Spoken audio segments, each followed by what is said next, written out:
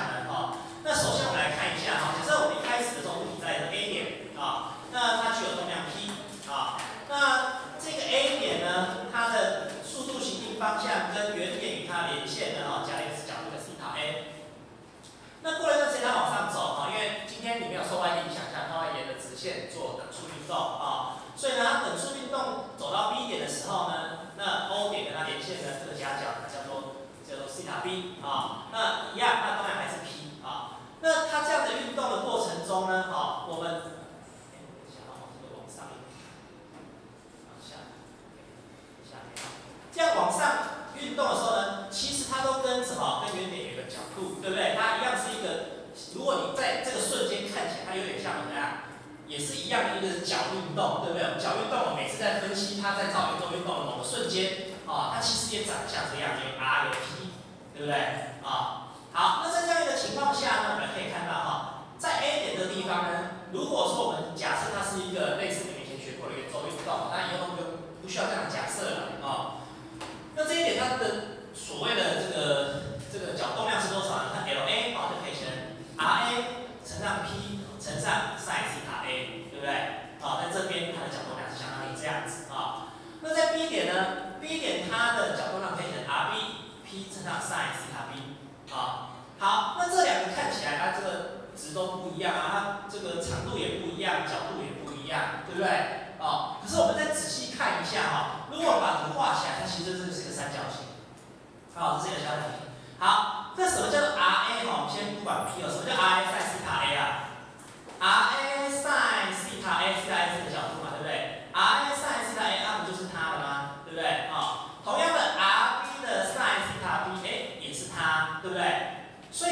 L A 跟 L B 在这里头呢，好，R A 上下来跟，R B 上下来个，都是相当于这一段，这一段我们叫做 R 垂直，也就是说，它移动这条线跟原点拉一条啊垂直线啊垂直线，得到的距离叫 R 垂直啊，所以它的 L A 跟 L B，它的 R A 上下一跟，R B 上下来都等于 R R 垂直，那 P 也是常数啊，对不对啊？所以呢，我们最后得到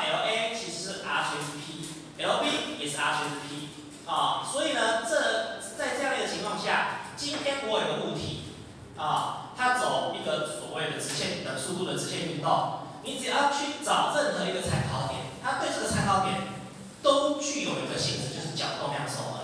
啊，所以角动程不一定要在圆周运动里头才有角动量守恒啊。你任何的等速度运动，啊，你只要找到任何一个你想得到的参考点，它都具有这个性质，就是角动量守恒的性质。啊，啊。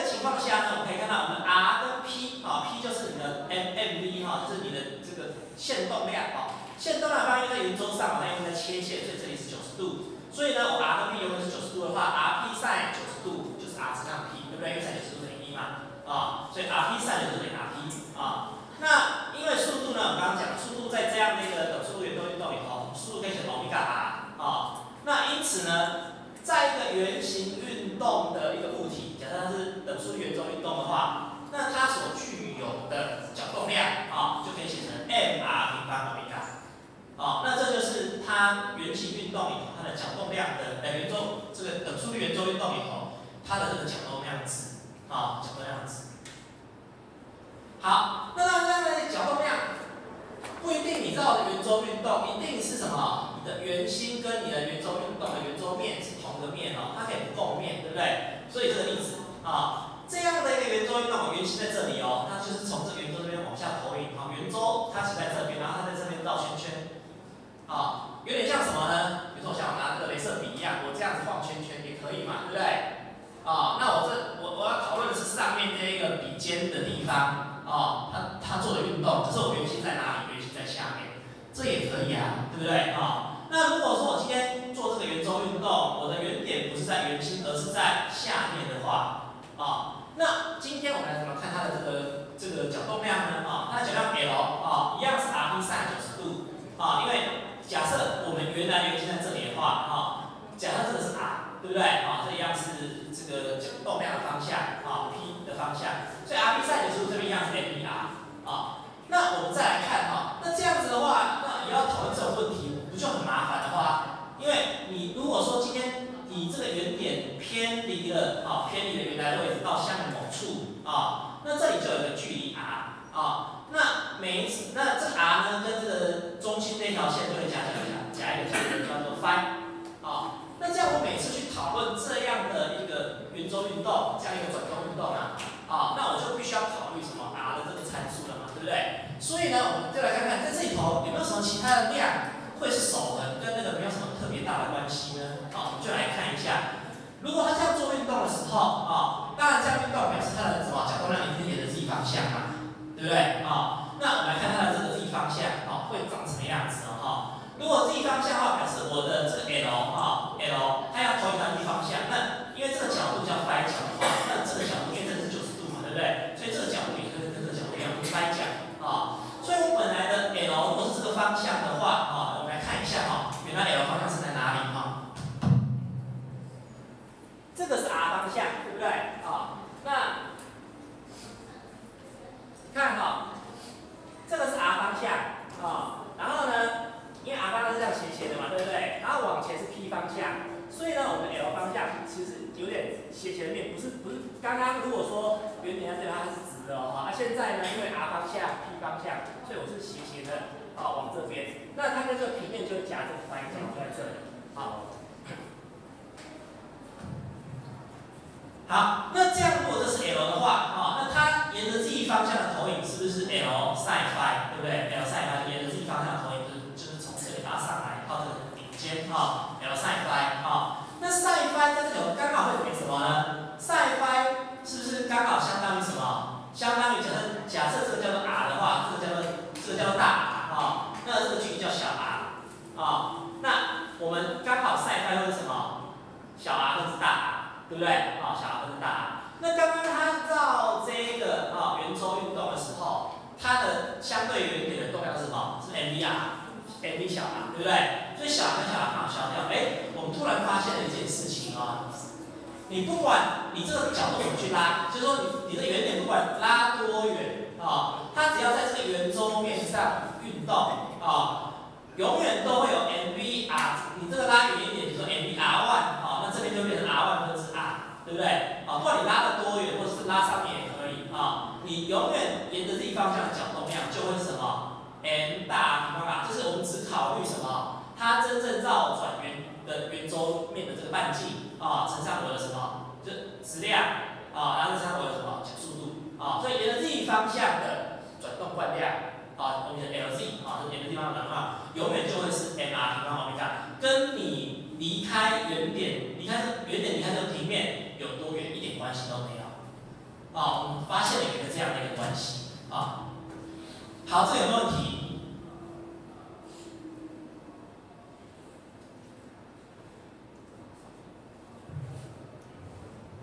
没有问题哈，好，那我们来看哈，那刚刚那当然是一颗粒子在运动了哈。假设我今天有一个质点系统，一大堆粒子的时候啊，是什么派的质点系统的时候啊？那我们去计算全部的这个角动量的时候呢，啊，是不是每一个都是 L A R cross P，对不对？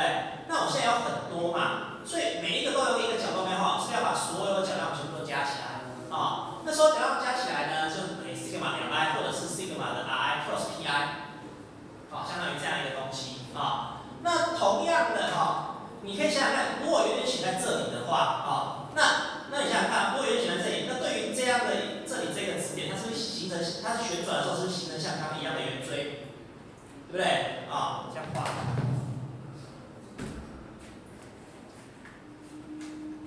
假设我们这个物体长这样子，那现在呢，我们转动走在这里。好，然后这样出来。如果说好，如果说我现在是这样的绕圈圈，啊，那当然这个是 r 啊，i 好了。对于这一颗粒子来说，对不对？它刚好转动的轴跟这个原点是在同一个平面上，没有问题，对不对？那如果一个粒子在这边呢，它的转轴会什么样子？它的转轴就是对相对于这个点啊，那转轴点这样子的。可是呢，它跟原点的距离就是这里啊，对不对？啊，这是另一个啊，就是这叫 r 一，这叫 r 二，对不对？好，那它真正绕转的 r 在这里呀，啊，小 r 二，对不对？所以这个问题就跟刚刚前面讲问题一样，对不对？我要去加它的轨道角动量，加起来就像这样子，可是很复杂嘛，对不对？但是呢，依照刚刚讲的东西，如果我们只考虑 Lz 呢，Lz，Lz 是不是相当于 sigma 什么 Liz，对不对？那每一个 Liz 都相当于什么？每一个它都相当于它绕转的这个大，它不需要算这个小 r，对不对？它只要算它绕转的这个大 r，对不对？啊，那大家都是一样的嘛，对不对？啊，然后呢，它的质量 Mi，对不对？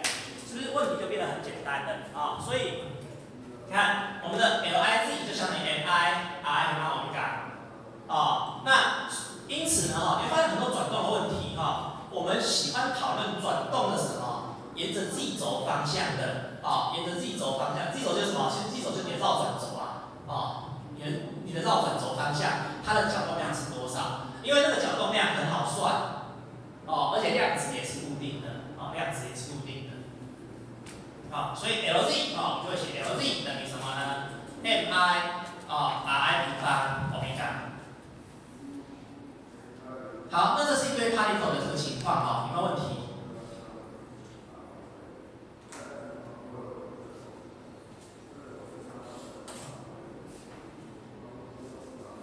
没有问题了哈。好，那所以呢，把刚刚那个式子呢，哈，Mi Ri 平方 omega 哈，我们就可以把它写成什么？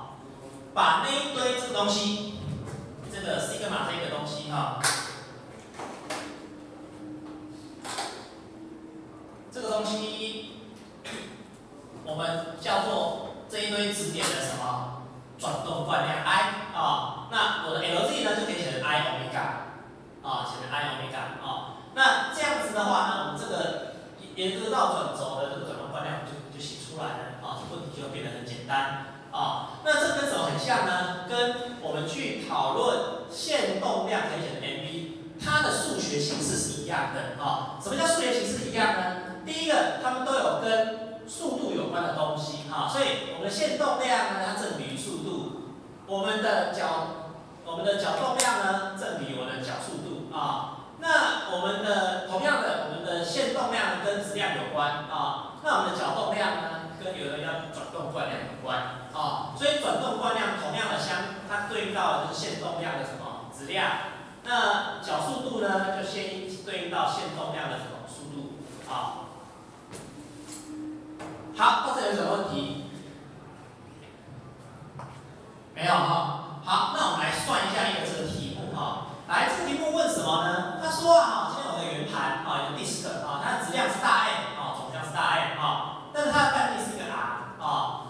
那现在呢，它以某一个角速度 omega 啊，围绕什么？环绕什么？环绕一个转轴。这个转轴呢，距离你的什么？本来的圆心有二分啊，距离本来圆心二分之 r。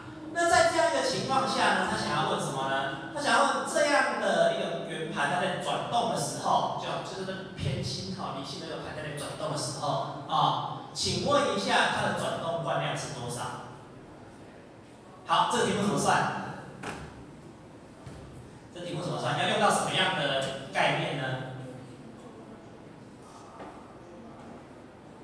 需要用什么概念？两个嘛，第一个你要知道圆盘的转动惯量，对不对？第二个你需要知道平行轴定理嘛，你才有办法算嘛，对不对？啊，好，所以圆盘转动惯量是多少？有没有记？圆盘的转动惯量是多少？这个要自己记哦，老师老师不会给哦。圆盘啊，球啊，哦，环啊、棒子啊，这个你要自己记哦。啊，好，那知道圆盘转动量是多少吗？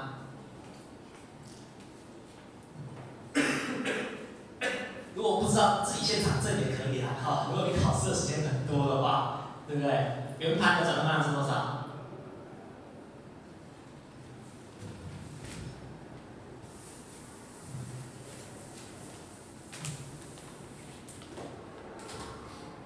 不知道哈，disk 圆盘的转动惯量，哦，I disk 啊，二分之一 m r 平方，啊，好，那球呢？它的转动量多少知道吗？实心球啊，实心球，五分之二 m 平方啊。那棒子呢？棒子如果我是这样子一根棒子，我我这样去旋转的话，它的转动量是多少？知道吗？十二分之一 m r 平方。好，至少这几个常见的要自己记起来呀，好不好？啊，好，那我们回到我们这个题目啊，这是沙里 O L I D 啊，实心球啊，棒子，然后沿着它的正中心去转啊，然后是圆盘啊，圆盘也是从那个盘心啊那个那个去转啊。好，所以这个题目第一个啊，我们先啊，然后平行轴定理啊，parallel axis theory 啊，平行轴定理啊，平行轴。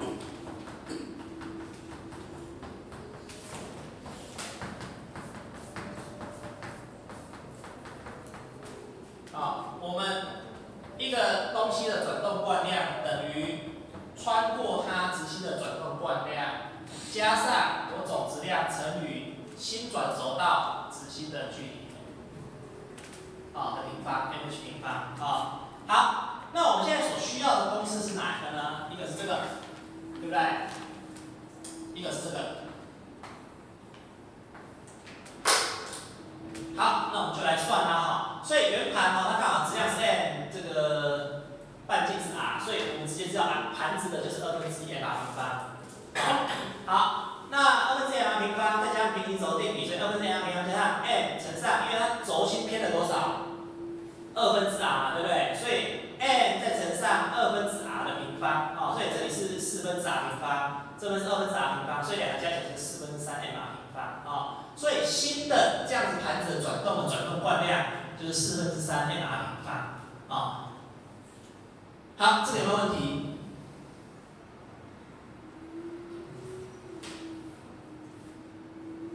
有问题？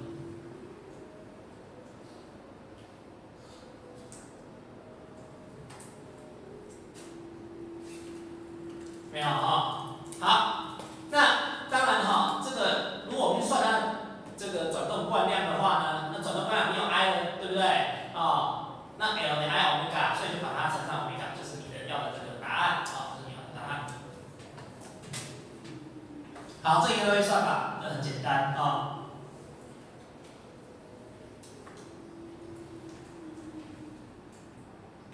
好，再来我们要讲的哈，就有关于这个转动的动力学了哈。那转动的动力学呢，哈，相对于我们直线运动的动力学，它其实也一样有一系列对应的公式啊，所以呢，我们就来看一下哈。首先，我们来看一下哈，在转动动力学里头，我们想想看线线运动的动力学中最重要讨论的中心思想就是力，对不对啊？那转动动力学呢，什么东西驱使一个物体做加减速的转动呢？跟力一样呢，就是力矩啊。所以力矩在力矩跟角动量等同于什么？在角运动中的角色就等同于。什么力跟线动量在直线运动中的角色啊？所以角动量呢，对单粒子角动量 L 可以写成 R cross P 啊。那如果 L 等于 R cross P 的话呢，哈，你可以来做一点简单的这个微分啊。如果把这个角动量的随时间的变化去做计算，为什么什么什么叫角动量随时间变化？就是本来一个物体它的角动量啊是守恒的。今天你要让它去做变动，你就必须施加外力啊、哦，以前线运动你要改变它运动方向是要外力，那现在呢，我们要让这个角运动啊、哦、发生变化，就要施加外力矩啊、哦。那变动的是什么？角动量啊、哦，所以我们把角动量对时间为分啊、哦。那这一个是 r cross t 就有两项啊，第一个是 r cross d p d t，对不对啊、哦？第二个呢是 d r d t c cross p 啊、哦。那这样子的一个微分啊、哦，它就会得到两个式子。啊。第一个是 r cross f 因为 p 底 p 动量对时间的微分就是 b 嘛，对不对？就是最前面这项是 r cross p，后面这一项呢，这个是 v 对不对？v cross p 或者是可以写，或者是可以把后面的 m 提到前面，就是 m v cross v 啊。好，那外积呢？外积的话，自己对自己外积会等于多少？外积 v cross v 会等于多少？自己 cross 零，对不对？我有说过外积叫做瓶盖法则，对不对？瓶盖法则 r cross 什么？就是你转多少嘛。那自己转到哪里？转到自己的位置就等于不转嘛，对不对？瓶盖是我们这样转到，这样 cross 它才往上走嘛，瓶盖。所以自己转到什么位置？转到自己位置，哎，那就是不动嘛，就是零啊。好，所以 r cross m 加 m v cross v，所以前面这个 r cross 不是涛，后面 v cross v 就是零，所以这里刚好告诉你，哎，底和哦，所以什么东西会造成我们的角动量的变化？就是有外力矩的产生啊，这里就是证明告诉你这件事情啊。所以对于单一的例子来说，我的涛可以写底和底 t 啊，这就是我们的动力学的开始啊，动力学的开始。好，那它跟什么很像呢？跟线运动的 f a dp dt 一样，什么东西会造成动量的改变啊？当然就是外力哦。好，好，所以呢，哦，这个就是我们简单讲力矩，其实就是什么？力矩其实等同于啊角动量的时变率啊，就是我们的力矩啊。好，那当然哈，这一在角运动跟线运动有一个不一样的地方，就是角运动里头不要忘记哦，我们的涛跟 L 啊，我们的力矩跟我们的角动量必须在同一个时间去做量测，而且量测的原点必须要相同啊，你会这个力矩缩沿的这个轴，角动量沿着走不行好，那样得到的答案会完全不对啊。好，那同样的，假设你今天有一堆粒子呢，你有自己的系统呢啊，同样的。对于线运动来说，我们有一堆资源系统的话，而外力啊，会造成你的系统，会造成系统的总运动状态改变，对不对？可是只有外力啊，外力会会改变你的状况，内力呢，系统内力呢不会啊。同样的啊，在角运动里头呢，外力矩才会改变你哎，内力矩呢，像这里头它因为矩子消掉，所以内力矩不不不对你的系统状态说发生改变啊。好，OK，所以呢，我们来看一下啊，假设我今天有系统有外力 Fi 啊，作用在 dP 跟 dI 的粒子上，哈，造成它线动量的改变 P 啊 P 啊，所以我们这个对于这个 dI 的这个点呢，它所得到的 tau I 就可以写 I cos Fi 啊，那它的角动量呢就可以写成 Li 等于来啊，那因为 tau 可以写成 d L T 啊，所以呢，我们很快把它综合起来，就是我总外力啊，总外力矩啊，tau external 的外力矩相当于 dL，就是所有粒子的啊角动量随时间变化率加起来就是我的这个总外力矩啊。好，这个应该很简单啊，反正就是你有一堆粒子的时候，你把全部加起来就好了啊。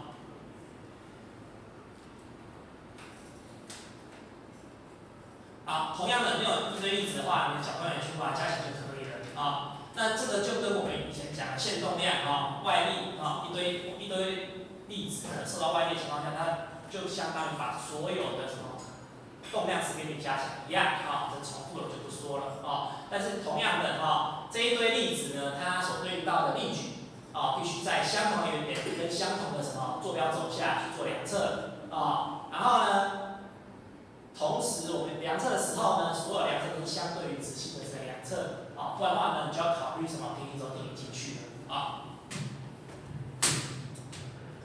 好，那对于某一些特别的转动的情况，就像我刚刚前面讲的哈，我们可以考虑它的转动是沿着 z 轴的话，那我们可以写成 Lz 等于 i omega 啊。那跟我们其其他的这前面讲到的啊，一般的粒子随机散布啊，随机散布，它对于某个特定的点这个。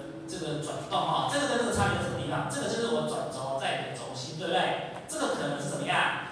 可能是比如说我人就走过了，假设这叫原点，我人这样走过去，啊，我人这样走过去，那我的手脚头这个躯干啊，相对这个原点啊，我的 L 可以写成 L I omega，对不对？那上面这个例子呢，是比如我这个人绕着某个东西在旋转，对不对？那我的角动量 L G 就可以写 I omega，哦，所以这是有绕什么？有绕特定轴转的。这个呢，不一定要绕特定轴去转，哦，所以这是这有 L Z 嘛，对不对？这个没有写 L Z 嘛，哦。好，那除了角动量守恒之外呢，我们继续哈，那这个涛哈，这个涛。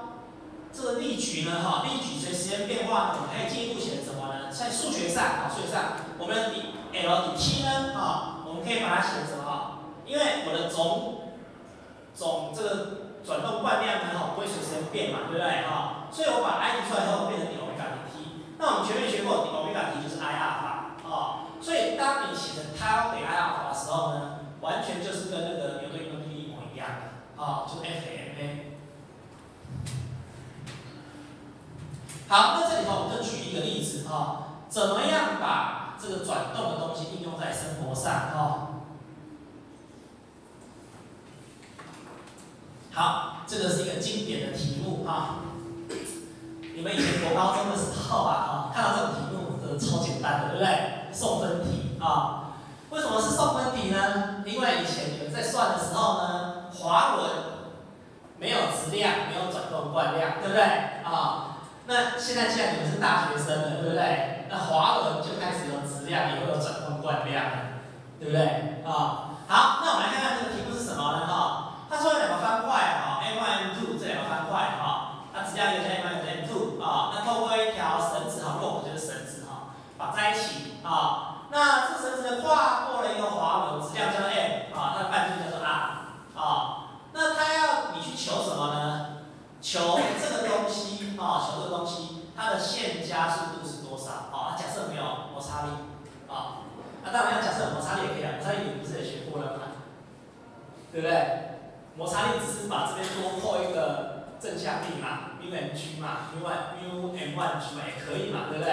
啊，所以可以问有没有摩擦力都没差嘛，所以来说没差，对不对？啊，好，所以这个这这题目怎么去解它呢？怎么做？怎么做？如果是你们第一次，就像现在刚刚看到题目怎么做？怎么办？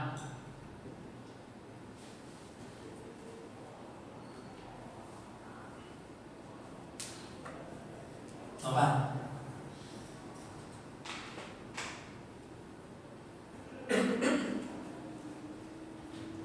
照刚刚学的要怎么办？他现在要问的是加速度嘛，对不对？线加速度哦，方块的线加速度。